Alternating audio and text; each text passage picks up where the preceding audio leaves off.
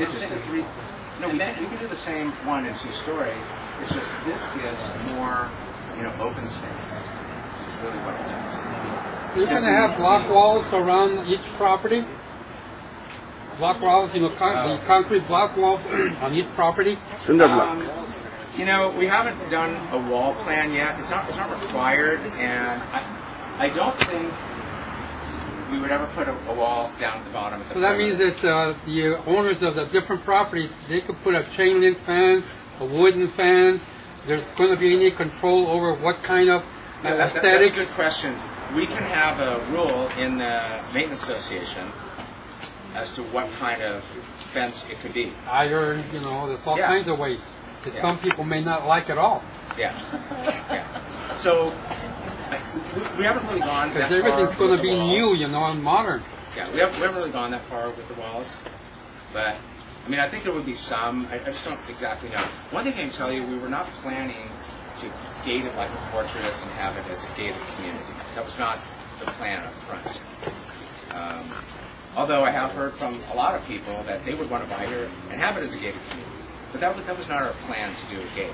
And there you were doing like a perimeter wall and stuff, and it just it kind of has that different closed off look. So I'm going to just write down um, uh, block walls. So you're going to have any fencing at all? And any perimeters? Um, Any type we're, of fencing? We're, we're not planning right now any fencing along Eastern. So basically, the, the slope would come down, and it would be planted and irrigated. And oh gosh, you know, let me mention about the irrigation. One of the things we learned about that we're going to do here um, with regard to the landscape irrigation is recycling, a water recycling technology, where all the water that hits this site will be captured through a series of drains and channels and directed to a couple locations. One might be um, here, another one might be here. And they'll be contained in a cistern, which is a technical word for a tank, an underground tank. And then there'll be a sump pump, which is a water pump, to pump the water back up throughout the entire site so that all the um, irrigation will be come from. Uh, I don't know if you haven't been around here lately, but there hasn't been much water. But that's My, fantastic. okay, I can tell you, my children, who are who are big environmentalists, as am I, um, have mentioned that to me, and I am very well aware of it. But if you go back a few more years, you remember El Nino, we all had a little bit too much rain. So it, it's just you know this is your kind of plan in terms of periods of time. That's a great feature right there. You know, that's we're Yeah. contrary to what someone else said. We don't want to drive you out. We want that place developed, but in the right size and proportion to what's existing. That's all. Not overdo it. That's all. Right. You know, I'm concerned with the Questions? security. Questions? Someone else here has a Questions? question. Well, you've talked a lot. No, Melissa and recognized. Esmeralda. Oh, you talked a lot without Okay. being You recognized. this young This isn't a meeting, you haven't you know, spoken. But I'm, I'm Okay, to okay. important to me. and What do you mean, okay? because, Prior development had a lot of like of the lands leading to Nootka, the development. Um, what kind of green building and planning do you have for it? And like how many, do you plan on keeping as many trees and natural? Uh-huh. Yeah, great question. Okay, so the question is, you're talking about like in our in our building, what, what's going to be green about In your building, but also in maintaining the like Whatever Yeah. trees Okay. are there. How Yeah. Okay. do you plan? So so let, let- let me just share just a few thoughts. Okay.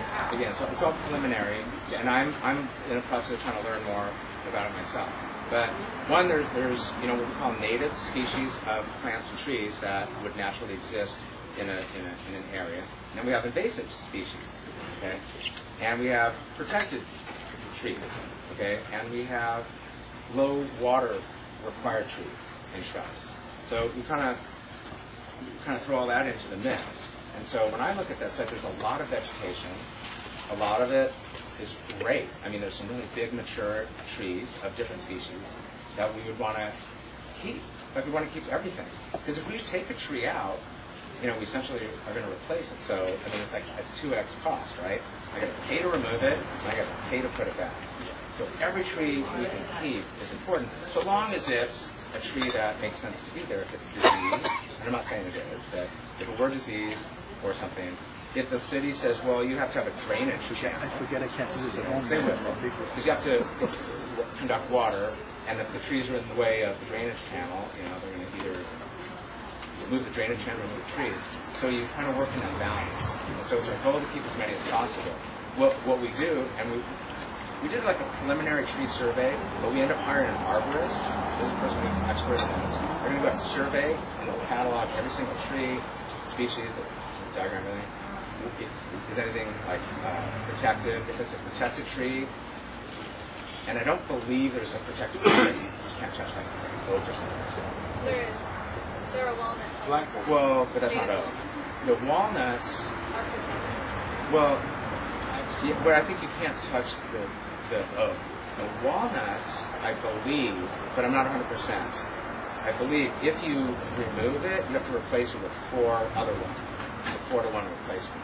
I, I'm not an engineer, and I'm not even the person most knowledgeable at my company about that. But we don't want to be removing walnuts at a cost and then having to replace them with four walnuts. So the goal is to leave as much as possible, create as much green space and screening as possible. So the end result is that there isn't an enormous difference from what it is, you know, today. I mean, it's, it's going to be different, but I mean, you know, we want to keep. I mean, a lot of these slopes, like much of this is really, you know, stays undisturbed. There's a lot of trees that, that would remain. We're going to look at what, what could be moved on site and things like that. So we're really conscious of that. So that's like with the, the trees and vegetation. And we talked about the irrigation. And then the maintenance association is just going to be a third-party company that manages a landscape contractor that would care for the plants and trees. Like we want to pay attention to all these things. As far as the building I technology, have a question for you. well, one second. Um, so, so as far as the building, um, you know, we haven't done architectural plans and we haven't done specifications. But one of the things we look at are what, you know, what can we do that's, you know, water conserving and energy conserving. So typically in our developments, we'll have all the appliances are Energy Star, all the water fixtures will have low flow restrictions on it. Um, this may be a, a good opportunity to do what they call tankless water heaters. They hang on the wall, and you don't have the big um, conventional old-style water heater that's perpetually heating 50 or 75 gallons typically. Um, roofing materials would be, and, and insulation would be such that you're really highly insulated. As kind of a company policy, we typically go beyond code. But, but I can mention to you just nationally, you know, we're in one other state, Colorado, and but, but just in trying and just being in conferences and things, most of the other states in our country will have far lower restrictions and regulations than we do in California. And so, just even building to code is doing nothing else to do the bare minimum that's required, and, and there's a whole body of law that it's done. You have to hire a special engineer to calculate all this stuff, and then it's presented to the city engineer, and it's a whole process. It's kind of beyond us just people talking. I'll answer you. Thank you. So, um, just the basic is pretty advanced, and, and, and, and it's, it's really very good. Now, one thing, what my um, older son is really into, his but he's really into environmental science, was talking to me about this gray water recirculator. I don't really know if you can do it. I don't see that it allows it. Uh, but we're going to look at it. Sounds really interesting. You take, they- they're doing it in other countries, like in Singapore Airport, it's done, where you take water from sinks and showers, and it gets recirculated into the toilet. Habitat homes are doing that now. I don't, I don't know if they allow it.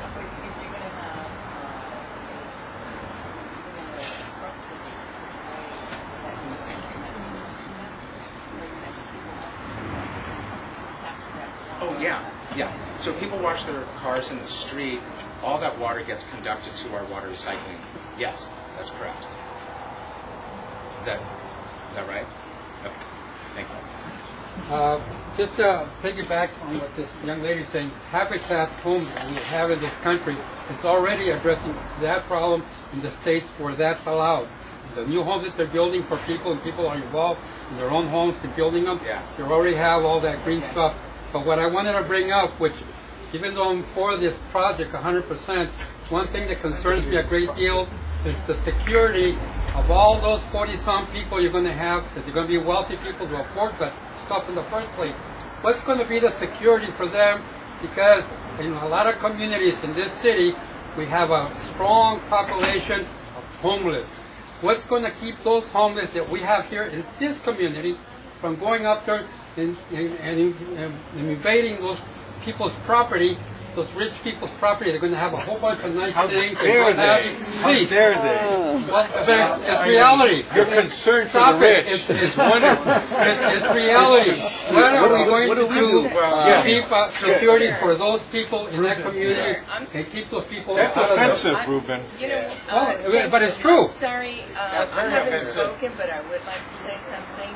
Uh, I hope that they are safe, but I live here. Right. I'm a property owner here in El Sereno, and I wish you had said something about us who do live here and Yeah. our security. Their.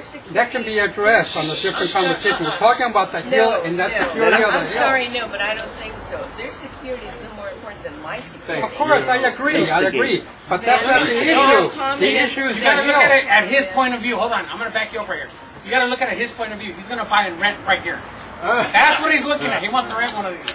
Even if that was the case, still, they need to secure. He needs- Your security is very he needs his legitimate, tenants You're very You're not concerned about us. No. He needs his tenants. Okay, but that isn't the issue. The rest of LA 32 is not the issue. Only that's the issue tonight. You're very right on what you're saying, young lady. Extremely right. Okay, But we do so- have a problem here. So So how do we deal with it?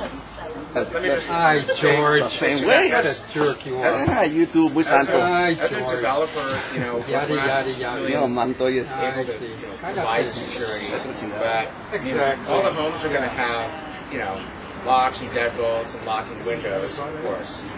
Homes will all be wired Yeah, doors and windows. security. Please don't Hi, write that on George. Security for the rich. Don't write that on the board. So, you know, the, the, the one of the things was the gate, but we kind of thought about that and didn't really think that was something that, David Wenza. that I think overall people would want is a security gate. And I also personally don't think that those really prevent that much. Somebody wants to get in, they're going to get over the fence. Or, or the Exactly. gate.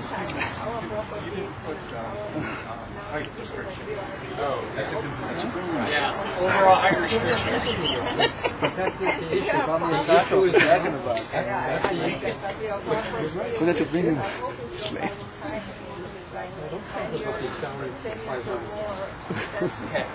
Got it. Sorry about that. Thanks for pointing that out. If I didn't, if there's something else that anybody said that I didn't write down, just let me know. Yes, sir. How many bedrooms are you looking at in some of these? Well, we haven't started the architecture, but our thought was, you know, three to four bedrooms plus a den. Mm-hmm. I'm looking online and you have very nice houses on your property. Oh, thank For you. water communities. Thank you. Are they, I mean, this might be a not a relevant question to some people, but I'm just curious. They're all going to look the same? Well, no, they're going to look similar because you know they're houses, but I mean each. I mean, I mean, typically, you've if you if you you've do, been up to the... It's like every third house is the same one. Right, up there by like, in between South Pass and Highland Park, what's that, like Oak Hill Drive? Oh, yeah, Where they have all Above those Fresco. really close together Oh, houses. there, yeah. And they're nice houses, but very small. The Yeah. lots are small, and they Well- all look the same. well, it, Answer you. you know, it's an interesting point. What, we don't want them to look the same. We don't want them to look like a subdivision. We don't want them to look cookie cutter. We don't want them to look like, you know, just someone came in and just plopped down 43 the identical thing. So what we tend to have are different floor plans and different elevations. So for 43, well, actually we're going to have a fair number of different plans just because of the topography. Some of them, a lot of them, most of them actually sit on the flat land. Some of them- going to be... it's yeah, so some gonna be like that. of.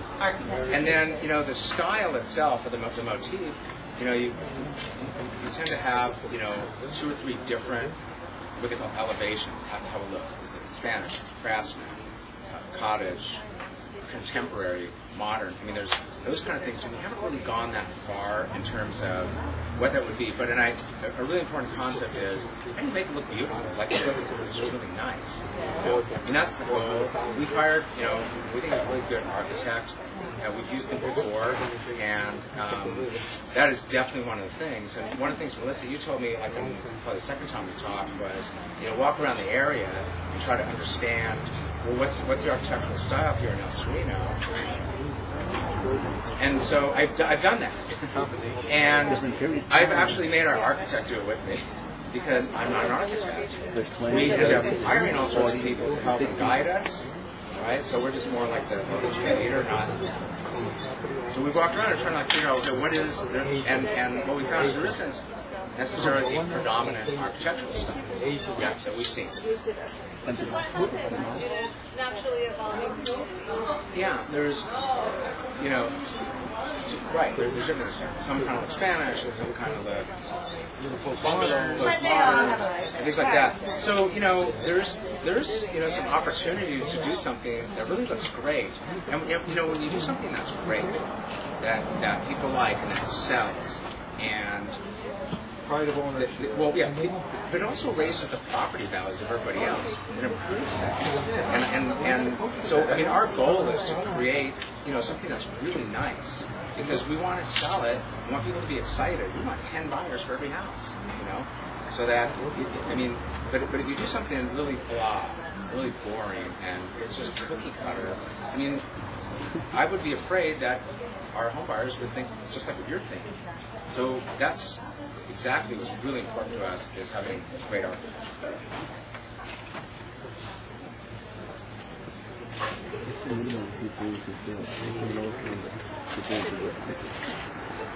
Okay, yes. You I've heard a couple times you mentioned, and maybe some other people mentioned, the impact on, on property values. Bringing a master plan community into our existing community will raise everyone's property And I'd like to just point out, I think we've all witnessed on our various blocks that homes are purchased, flipped, improved, and new homeowners move in and, and add to our existing communities. We've seen property values raise because of that. So on my own lot, we had a property that sold for almost a hundred thousand over asking, and it came in high and asking. And this was a very small, very beautiful but flipped property. So I'd just like to point out, you keep stressing that it's going to improve our property values, and I'd like to remind everyone, we don't need a master plan community to improve Altona's property values. Our property values are improving block by block, beautifying our existing community and improving our existing community within what we have established established already. I think I think one thing El Sereno has going for it, it has long-term residents. Yeah. Low density. Yes. Long-term, yeah, long-term residents. I've been in the same house. I mean, I'm obviously I'm one up of the here. young ones. Yeah. I've been in that same house since '84. '84, and I'm sure I'm one of the young ones. I, everybody around me, other than my next door neighbor, have been there longer than I have. Yeah. It's true, Angel, that we are a multi-generational community, and many of us want our children to also be able to purchase homes in El Sereno. Mm-hmm. And there is some concern about people not being able to purchase now at the existing price. Because- I know that prices are going up. They're, they're high because very few homes, if you notice, are for sale in our community. I'm seeing Yeah. actually, Angel, a Well, lot you of know, homes yeah, on they, that, what, what, what, you guys are talking about is, is generally what's going on in a lot of most areas in California. Lots of Because of, uh, of all sorts of reasons, you know, regulation and, and this and that, um, you know, not enough homes have, have been built. Okay. really agree with that. There's I don't agree there's net population growth in our state. Okay, that means that, that just by the numbers, there's there's more people here, and it's continuing to grow. People are living longer, and more babies are being born, and more people are moving in, and even though some people are moving out, if you if you look, And I, I, I think part of that problem is that they need somewhere to go, so they put them where there were no people living. Good example, the industrial lofts downtown. They're great. They cleaned up the neighborhood, but now the congestion is so much more worse. If they used to be warehouses, now they have several hundred people living in one building, Now they're coming to El Sereno. and they're not cheap. Yeah, but you know- regardless of the price, it's the amount of Yeah. people that The property values will increase even if there are 20 homes. It doesn't have to be 40 homes. yeah. Even if there are 10 homes, it's going to increase. If there's no the primary reason we're doing this Right. is not to increase the property value. That, that Thank was you. the point of my statement. I was just saying that in general, you know, when you you know build in an area, it tends to improve the overall area. Other benefits that happen are like one, you know, it beautifies that hillside. Okay, landscape, maintained, you don't the trash. there's a piece of land out here. You can barely see it. It's a triangle piece. It's owned by the city, it's a mess. And that's where the taco guy operates on public land. There's been discussion to get rid of him, but apparently he can just operate there, and then it creates trash. And and I've seen out there he has a trash pail, but you know I don't know, it blows out. I don't know what happens but it, it creates a mess. And so one of the things that we um, agreed to do is, even though we don't own that little piece, is we'll um, landscape it and irrigate it and take over the maintenance of it in perpetuity. And He'll come anyway. Dan, well, no, because we would plant it so you can't. You know, we would create something. I mean, we could even put, if we all wanted, some kind of signage. You know, it could be a sign Dan, about El Sereno or whatever. But I mean, we could create it because I realized that that's the issue with that guy. I've heard it a lot. That's something that, that we're, we're doing. Okay. Um, so I'm going to put the uh, triangular piece. As long as he sells tacos, he'll be there. People, you gotta get people to stop buying his tacos. Simple as that. Probably gonna buy one in the house.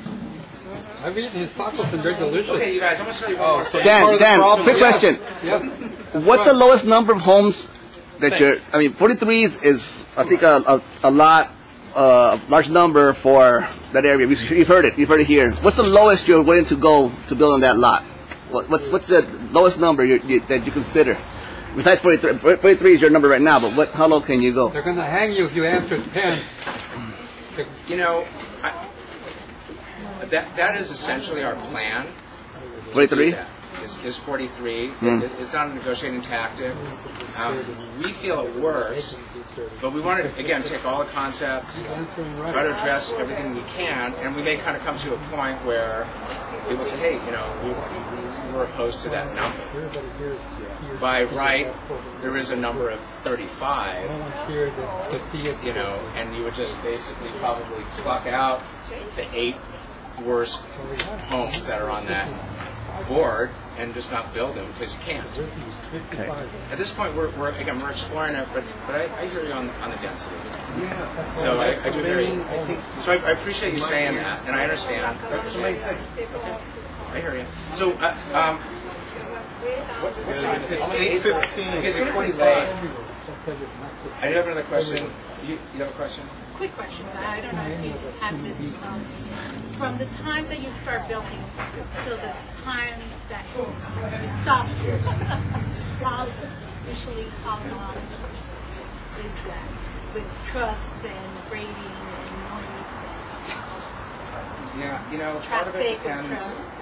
Well, well, Can I we- think I'd say the, the initial grading Oh, process. I don't know exactly, to be honest with you. I, I'm not 100% sure, but I would say it's going to be at least a month or two of dirt haul off. during the day, during the night. Yeah, during the day. When I talked to the school, one thing I said to them, I've got to imagine that doing having any like equipment during school drop off and school pickup would be, you know, really difficult. So one thing we could do is, you know, promise and agree to make sure that we don't have that going on. Um, during the drop-off pickup, and, and then the school, um, Dr. Gibson or um, Ms. Garcia would would they're going to just kind of I don't know what the times are, but whatever. Around eight to three, and then we know no, we wouldn't have the equipment there. The, the- another thing too, by the way, is the site's big enough where we can actually do a lot of stuff on site, and I don't really think we have any real staging in the road. Because you, 'cause, I mean, when you're doing infill, I mean, just big picture, you know, you can build in suburbia, right, out in Inland Empire, North San Diego County and things, but a lot of people object to that. It's called urban sprawl. There's an article like every other week at the Times about urban sprawl. What are we doing that for? We need to revitalize our cities where you have 50 plus and You hear that, George? homes and they're falling down, and you know we need to Oh, yes. more because we have more people. We just have more people. Just look at the population in all of our lifetimes in the world. I think we've gone from like when we were all little kids, and I'm sure some of you are younger than me. There was like four billion people in the world. There's like six a half billion people, seven billion people in the world. Now, obviously, it seems like they're all here, but they're all over the world. I mean, so we have this population growth being built out in the sprawl, but then why are freeways all a mess? You know? It's a whole other topic, but yeah, you know, so there's like, don't build out there because you know creates a mess, and then jobs here, people are driving, and it's a waste resources, and we're adding smog in the environment, clogging up the freeways. Then we come in here to build, and it's like, well, you know, don't disturb the old. You know, so it's always like a balance. We're trying to work all that stuff. But to answer your question, I think the dirt hog part is not that long. I think the overall grading is probably about six months. And I think home construction, when you build a phase of homes, it probably takes about four to five months. It's taking longer because you know, things are getting a little busier and a lot of stuff's gone out of business, and so there's a lack of labor. Another good thing when you build is you create a lot of jobs. There's a lot of there's a ripple effect in housing where all sorts of businesses are, are benefiting. But you know, you probably build it in. I, I would just be making up. Overall, you know, home communities. Let's say if it sells, you know, one a week or a month, might sell in ten months. So maybe the whole thing's a couple years, but it could be longer. You know, if you have a really heavy rainy season while you're doing grading, you can lose time. If There's labor and material shortages. One time, like all this um, plywood got shipped over about places to Iraq, and there was like a big shortage of plywood. Another time there was a shortage of um, insulation. And there was like allocation. Remember, like we lined up for uh, gas in the 70s, like 72. Okay, well, there's an allocation on it. You build. So you know, we don't control any of these things. It's just you go to go and buy. So, you know, labor's constrained, materials. And then the market. If the market's good, we're selling. We're going to build as quickly as possible. You know, if it's if there's a big demand, you want to build maybe half and then another half. Well, if the market's got a weak, you might to go slower. The bank will control that too. Believe me, as a developer, we have a lot of people that control us and answer to us. You market, residents, but all the agencies. We're an extremely highly regulated business. I mean, we're answering to federal, state, city, regional, county, all these utilities. Everybody, we've got a lot of people telling us. Yes. Yeah, can you tell us about the funds that's going to be directed to the rec center? Yeah. Um, oh, that's a positive thing. Okay, so as a developer, we pay these what are called impact fees. One of them is for parks, and I know Melissa, you were concerned about parks, and I took your thought to heart. And someone else had talked to me about it, so I here didn't talk to me. Hey, you want to have a park? Well, we have Ascot Hill Park, 99 acres. We have El Sereno Rec Center, the rec, uh, regional park. Well, when we go to build, we're going to be required to pay fees. And right now the fees are three thousand dollars a house, so you multiply it out, about 130 grand, 129 grand. Okay. So my experience for 25 years doing this is pay these fees, and then never kind of really see anything. And I've never seen any anybody build a park. To be honest with you, I built parks before in the larger projects, but I've never seen anybody we just pay these fees and where's it go? So I just got to thinking about it, and after our conversation, when I had a meeting with a council member, I just asked, you know, council member, I said, do you have the authority to direct fees that we pay to be spent right here in El Sereno, real time, when we're doing this project? And he said, you know, no one's asked me that. Let me check. Let me check. And he said, yes. Are you sure? Are you sure we can do that? And he said, yeah. And then a couple weeks later, I said, hey, you know, we're going to kind of start our outreach. And I don't want to be saying this, you know, if, if it's not true, but it, it was confirmed to that's true. So we're going to pay these fees. It's going to get earmarked, and it's going to be spent right here in El Sereno. You know, presumably in the El Sereno uh, Regional Park for capital improvements, not maintenance. And so one of the things to start thinking about and exploring is what are we going to do in the park? Now, I don't have a personal stake in exactly what, I don't have like a vision, oh, it should be a top lot or a shade structure or bathrooms or anything of that sort. But it could be something. And I think it would be very interesting to create something and have something built that benefits the entire community. So money, you know, real money that we're paying when we do this goes into that park. You know, I'm curious in terms of uh, all of these homes, however cheap they are, they're going to all be high end, and I don't have a problem with that. What I am concerned with, if your project is going to qualify for certain federal programs because now, your money is tight, and it's hard to get it, now you, you can buy a house with 99% financing. Now forget the 5% that used to exist. You can buy a house with 99% financing. Even though these are high end, Okay. do you know But- if you're going to be any special programs for those people that can't afford it still? Uh, what do they call it? Special when it's low income Yeah. Okay, let, let, let me ask you, so let's be like really clear. We are not a low-income housing builder. We don't use You're public high-end. money. We don't use federal money. We don't use state money. We, we get no money from everybody. It's all our own money. Okay, bank. And you No, I mean bank for the buyers, not I mean you okay. as the developer, But- sir. Let me just fully answer. So this is Hey, not take it a, with you. This has nothing to do with Take it with you. or subsidized housing. This is all pure market rate. Okay. So it's market rate housing. We are not a lender. We're not a mortgage company. We don't do that. Oh. There's, there's laws that keep us completely separate. There'll be lenders who will make loans. I'm not exactly sure what loan product you're talking about. One that exists is the FHA, and that allows for three and a half percent down. There's the VA loan. That's like maybe one percent. Right, and also be zero. So there's those are two programs that exist through the government.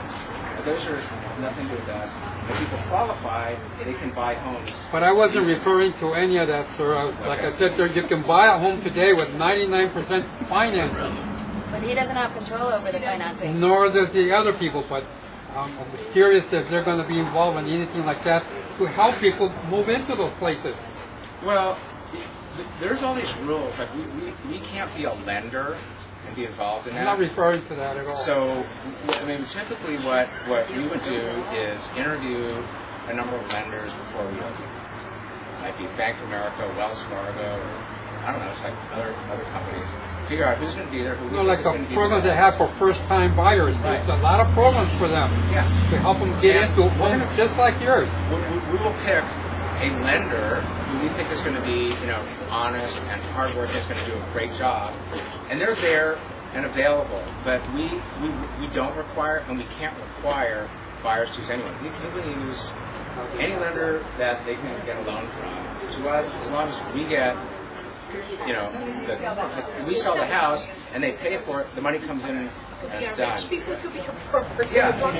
pay cash, some people get loans, some people get this kind of loan. We don't have any special, like, financing. We don't carry paper, we, we don't do, we